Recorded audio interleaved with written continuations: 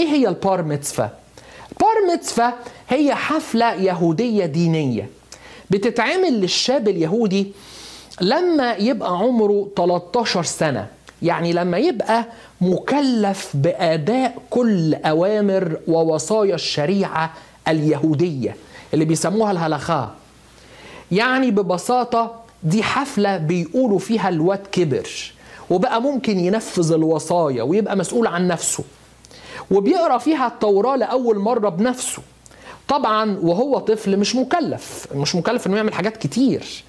وبيبقى مسؤول من والديه لكن لما كبر بقى خلاص يبقى مسؤول عن نفسه.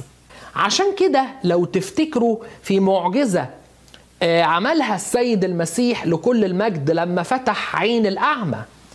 والدي المولود أعمى قالوا لليهود إيه؟ لما راحوا يسألوهم عن ابنهم واللي حصل فقالوا لهم إيه؟ هو كامل السن اسألوه فهو يتكلم عن نفسه.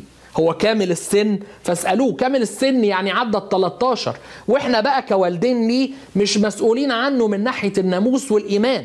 وبالنسبة برضو للبنات في حفلة زيها بتتعمل بس لما تبقى عمر البنت 12 سنة وبيسموها بات ميتسفا.